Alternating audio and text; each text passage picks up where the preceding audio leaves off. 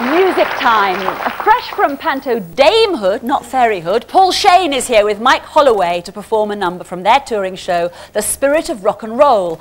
That's rock and roll right through from the 50s to the 70s. We go back to 1964 now with You've Lost That Loving Feeling.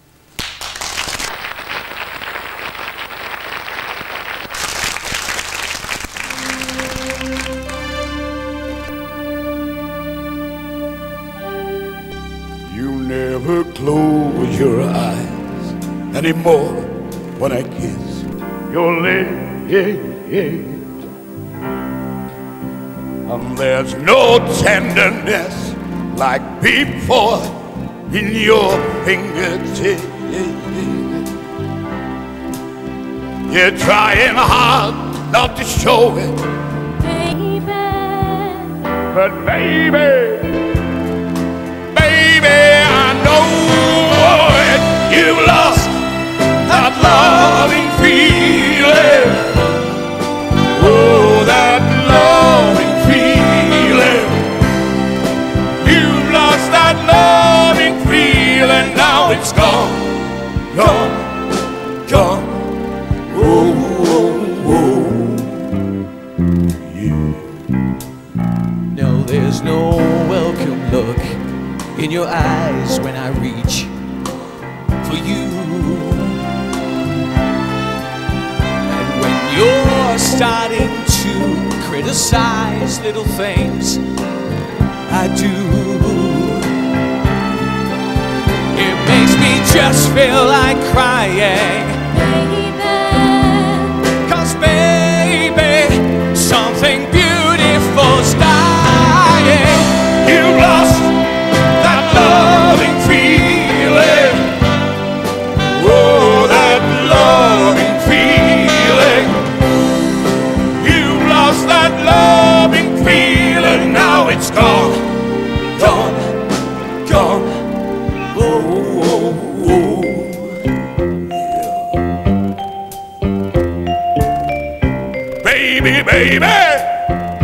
I'll get down on my knees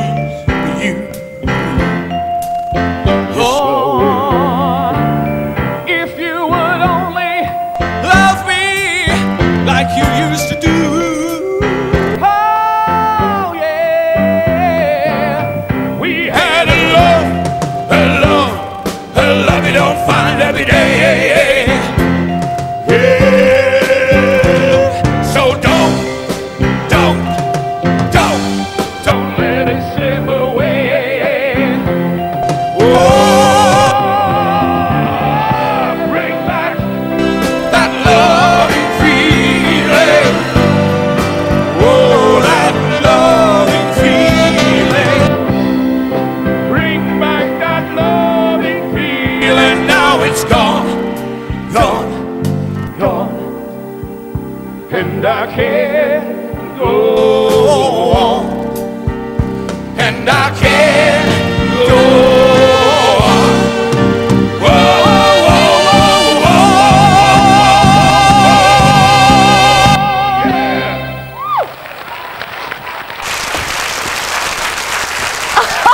Surprise, huh? I tell you, I can't see there's a you and Tom Cruise. There you Honestly, go, yeah. a dead ringer. Welcome, thank Paul. you, Welcome, darling. Mike. Great to see Thank you. you, Sarah. Pleasure to meet Now, it's been a while since we've seen you doing the rock and roll stuff. Since we've seen you, you know, singing as, as Ted Bovis at Maplin's. Yeah. What got you back into the Well, rock and roll groove? We were doing another rock and roll show, and I suddenly said to Mike, I'm not singing a song with you.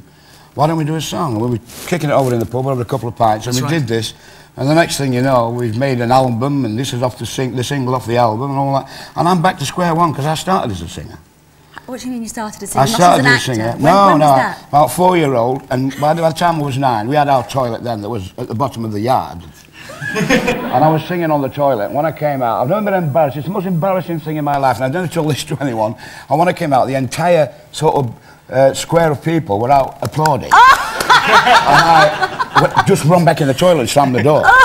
You can't remember what you were singing at the time, can you? I, I can't, no, he's a nine-year-old, I don't know, he could have Sat been anywhere, lavatory. 1906, Tell me how you're going to fit in the recording of the new series, Oh Dr. Beeching, Yeah, with yeah. this touring schedule now. Well, How's we're only doing a short tour before that, and I think I'm doing a movie before that. A movie? Yeah, I think so, yeah. What's the movie? It's, uh, Top Gun Part 2? if I get it, would it be good? Eh? It's, the, it's the life story of Chris Rea.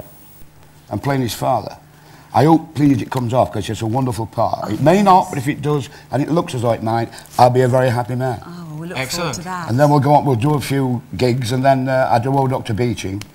And then I'll have so it's non-stop? I'll probably be in the Palladium at Christmas, I think, Yeah? playing Bumble in Oliver. It's all sorted. Won't it go? For next it's a good year. year, yeah. Fantastic. I don't know what's going to happen next year, but this year's okay. Well, thank you for coming and fitting us into that schedule Yeah, today. it's so nice to see you. You're a lovely you. lady. Paul Shane, ladies and. Thanks, Paul. Mike Holloway, Spirit of Rock and Roll. Well done, mate. Nice.